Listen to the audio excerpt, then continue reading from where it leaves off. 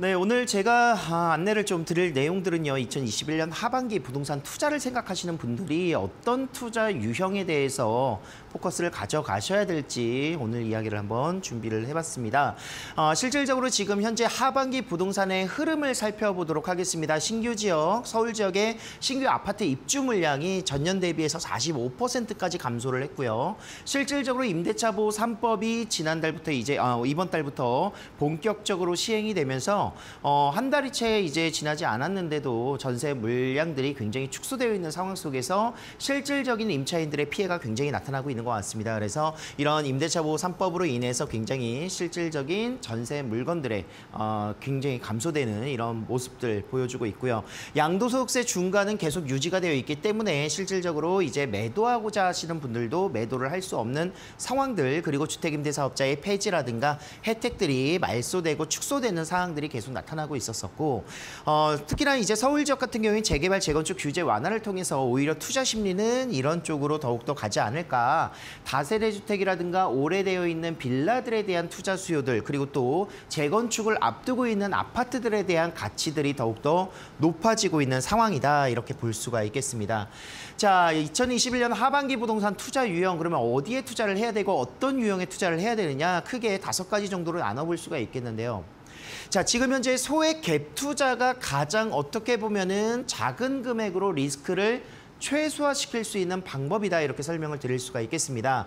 어, 소액갭 투자 같은 경우에는 이제 개별 등기가 가능한 실질적으로 다세대 주택이라든가 도시형 생활주택, 주거용 오피스텔 등이 가장 대표적이다 이렇게 볼 수가 있겠고 공동주택이 대표적인 아파트 같은 경우에는 소액으로 들어가기가 굉장히 어려울 뿐더러 실질적으로 다주택으로서 취득하기에 취득록세 중과 부분이 부담되기 때문에 소액으로 갭 투자하기에는 신축의 그런 모습으로서 투자하기 유용한 어, 절세를 할 수 있는 취득록세 감면 혜택들이 있기 때문에 임대사업자 등록을 통해서 소액 갭 투자할 수 있는 방법을 찾으셔야 될 것 같습니다. 그리고 재개발 지정 가능성이 있는 지역들 투자 서울 지역 같은 경우에는 특히나 재개발의 그런 규제 완화들이 또 예정되어 있기 때문에 이런 부분들 많이 투자를 또 생각을 하실 것 같고요.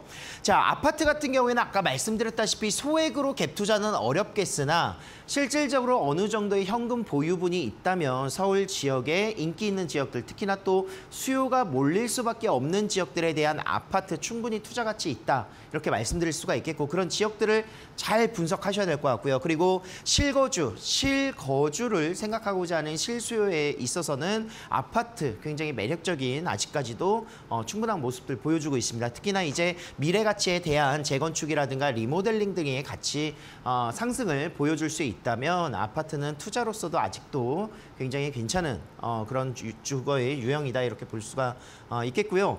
자 재개발에 대해서 이제 다가구라든가 다세대 건물들에 대한 투자, 건물 투자가 될 수도 있을 것이고 개별 등기가 가능한 다세대 주택들 재개발 예정지들 같이 함께 공존해서 투자할 수 있는 방법이 될 것 같은데 실질적으로 어느 정도 재개발 단계가 이루어진 곳들 같은 경우에는 프리미엄이라는 것 자체가 굉장히 높게 형성되어 있기 때문에 투자 금액이 좀 어느 정도 들어갈 것 같습니다. 그리고 상업용, 업무용 부동산에 대한 투자, 뭐 상가라든가 지식산업센터 그리고 생활형 숙박시설 실질적으로 이제 어, 연금이라든가 이런 부분에 기댈 수 없는 부분들이 어, 업무용 부동산이라든가 상업용 부동산에서의 그런 수익률로 대체를 할 수 있는 방법이다 이렇게 볼 수가 있겠습니다. 자 차근차근 하나씩 좀 살펴보도록 하겠는데요. 자, 소액 갭 투자 같은 경우에는 주택임대 사업자 등록이 가능하다라고 말씀을 드렸습니다. 그렇기 때문에 아직 주택임대 사업자 어, 폐지되어 있는 부분들이 아니고요. 등록을 통해서 취득세 감면 혜택을 받으신다면 아무리 다주택자 8% 12%의 취득록세를 부담하셔야 된다 하더라도 취득세 감면 혜택 85%까지 감면을 받으신다면 실질적으로 투자 금액과 그리고 세금적인 부분에서의 그런 소액으로 어, 투자가 가능한 어, 유형이다 이렇게 볼 수가 있겠습니다. 어, 앞으로 이런 취득록세 감면 혜택까지 없어지게 된다면 실질적으로 이제 소액 갭 투자자들은 어, 소액으로 투자하기가 굉장히 어려운 상황들이 나타나게 될 것이고 그만큼 어떻게 보면은 이런 투자에 있어서도 양극화 현상들이 충분히 나타날 수밖에 없다. 어, 그런 생각을 하고 있기 때문에 지금이라도 움직일 수 있는 자금들이 있으실 경우에는 여력을 가지고 주택임대 사업자 어, 충분히 활용을 하셔야 된다. 이렇게 말씀드릴 수가 있을 것, 있을 것 같고요. 주요 역세권과 주거지역 용도 변경 재정견과 함께 더불어서 용적률 상향 계획들이 또 세워져 있기 때문에 앞으로는 사업성이 조금 더 좋아질 것 같습니다. 그래서 이런 지역들에 대한 소액 갭 투자 그리고 어, 주택임대 사업자의 활용과 그리고 전세가의 상승할 수 있는 예상 지역들을 철저하게 잘 분석을 해보신다면 소액으로 투자를 해서 어느 정도의 기대 수익률을 갖춰볼 수 있는 투자 방법이 될 것 같습니다. 그리고 투자 금액은 정말 적은 지역부터 생각을 하신다면 약 뭐 500만 원, 1000만 원부터 시작할 수 있기 때문에 정말 내가 자금이 많지 않더라도 이 정도의 자금으로 먼저 시작을 해보셔서 어, 시드머니, 본인의 시드머니를 좀 키우셔야 그 다음 단계로의 투자가 가능하다 이렇게 말씀드릴 수가 있겠습니다. 자, 재개발 지정 가능성 있는 지역에 투자를 하라. 실질적으로 재개발 요즘 핫한 이슈입니다. 어, 가장 서울시에서도 가장 크게 이제 주택의 공급을 늘려야 되는 이유 중에 하나도 어, 이런 부분들 공급이 부족하기 때문이다. 그래서 재개발 공모를 통해서 빠른 재개발 사업지를 모색하겠다라고 이야기를 했고요. 매년마다 25개소 이상의 재개발 예상 지역들을 발굴하겠다라고 이야기를 했습니다. 어, 도시 기본 계획에 따라서 이제 이런 지역들이 새 롭게 구성이 된다면 실질적으로 2015년 이후에 새로운 그런 어, 재개발 사업지라든가 구역 지정이 이제 멈춰 있었던 부분들이 풀리게 되면서 매 해년마다 공급 감소가 이루어져 있었던 부분들이 이런 인허가가 안 됐었던 부분 아니겠습니까? 그래서 앞으로는 이런 부분부터 손을 어, 좀 보겠다라고 하는 거고요. 양질의 신축 아파트를 공급할 수 있는 방법들이 될 것 같습니다. 하지만 이제 걸, 공모일이 실질적으로 공모를 통해서 빠른 재개발 사업을 진행하겠다라고 했는데 공모일 같은 경우가 이제 권리 산정 기준일이기 때문에 어떻게 보면 투자에 있어서 공모일 이후에 투자를 하신다면 현금 청산 대상자입니다. 그렇기 때문에 조금 더 빠른 어, 빠른 투자의 그런 어, 수요가 움직일 것이다 이런 예측을 해보실 수가 있을 것 같고요. 어, 투자 금액은 어느 정도 가능성이 있는 지역부터 조금 가능성이 떨어지는 지역까지 투자 금액이 조금씩 차이는 있겠으나 약 8천에서 약 3억 원 정도 사이라면 아직 구역 지정이 되지 않은 지역에 대한 가능성의 투자를 해볼 수 있는 방법이 될 것 같습니다. 결국은 주거 환경 개선들이 일어나는 지역들을 보시게 될 것이고요. 자, 아파트 같은 경우에는 실거주에 관해 있어서는 굉장히 매력적인 어, 주택의 유형이다 이렇게 말씀을 드렸고 재건축, 리모델링 등의 이제 또 보셔야 될 사항들이 있는데 지금 현재로서는 어느 정도 단계가 이루어져 있는 재건축 사업지들은 프리미엄이 굉장히 많이 붙어 있습니다. 그래서 이런 부분들도 실질적으로 투자를 하실 때 잘 고려를 해보셔야 될 것 같고요. 특히나 이제 다주택자는 취득세 중과로 인해서 부담분이 굉장히 증가되어 있기 때문에 투자로서는 어느 정도 현금 보유를 충분히 하셔야 투자가 가능할 것이다. 그리고 재건축 가능성이 높은 프리미엄 그리고 실거주 요건들의 어, 난항들이 또 이루어질 수가 있겠습니다. 그리고 아파트의 높은 가격 상승으로 인해서 심리적으로 어, 상당히 부담감이 있으실 것 같아요. 그래서 더욱더 좋은 지역으로만 보셔야 될 것 같다 이렇게 이야기를 드리고요. 만약에라도 서울 지역 내에 좋은 지역을 보시기가 어려운 상황, 그러니까 이제 투자 금액이 되겠죠. 그럴 경우에는 어, 실거주 매수 시에는 서울 지역 유망하게 좀 보시면서 또는 수도권 지역이라도 실질적으로 내 자금을 가지고 대출을 활용해서 어, 저평가되어 있는 지역의 매수를 좀 어, 추천을 드리도록 하겠습니다. 투자 금액은 투자를 하실 경우에는 이제 막 유, 유, 이제 어느 정도 인기 있는 지역 같은 경우에는 6억 원에서 한 10억 원 정도까지 재건축을 바라보신다면 요 정도 그 금액대에서 어, 투자가 좀 가능할 것이다 이렇게 생각을 하고 있습니다. 자, 재개발 다가구 및 다세대 건물 투자인데요. 건물이라는 것 자체가 실질적으로 어느 정도의 토지 지분을 가지고 있는 것이 아니라 온전한 토지를 가지고 움직이다 보니까 투자 금액이 높다라는 단점은 가지고 있습니다. 하지만 어, 확실성을 가지고 소규모의 그런 재건축도 노려보실 수가 있을 것 같고요.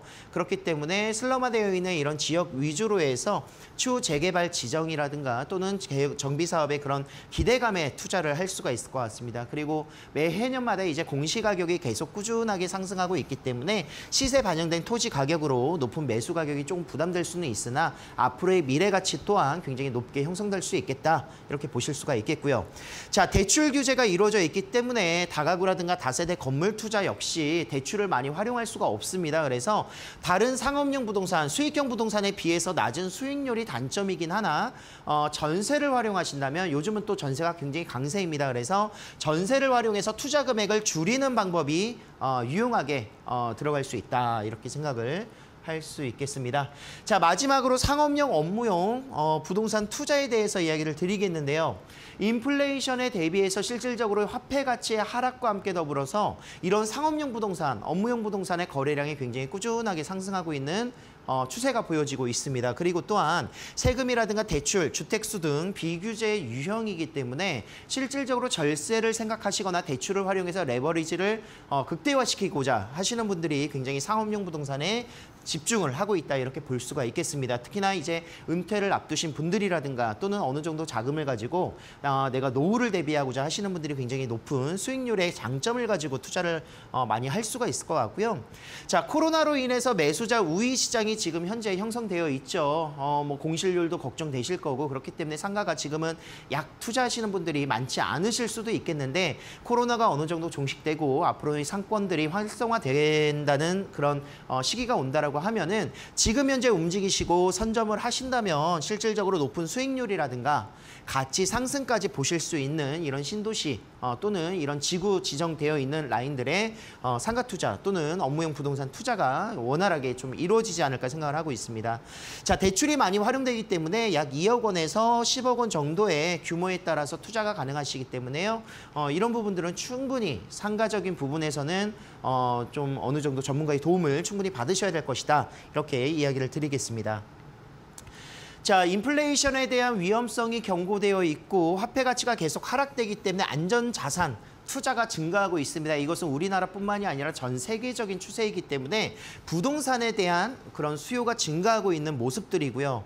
자, 2021년 하반기 다양한 정책들에 대해서 변화가 예고되어 있어서 어, 정말 미래를 알 수 없다 이렇게 이야기를 많이 하고 계십니다. 하지만 결국 어, 투자 항상 매년마다 제가 느껴오는 거지만 투자 어, 올해가 가장 작년보다도 어려웠었고 미래는 계속 어려워질 것 같습니다. 하지만 그래도 무언가 움직이고 하셔야 아무것도 내 삶이 변화되지 않는 행동을 하지 않는다면 변화되지 않습니다. 그래서 이런 행동들을 통해서 어, 좋은 부동산에 투자를 하셔야 될 것 같고요. 그런 부동산의 성격이라든가 입지 또는 유형에 따라서 세분화된 분석들을 어, 좀 잘 받으셔서 컨설팅 받으셔서 좋은 부동산 유형에 본인의 상황에 맞게 투자하시길 권해드리도록 하겠습니다.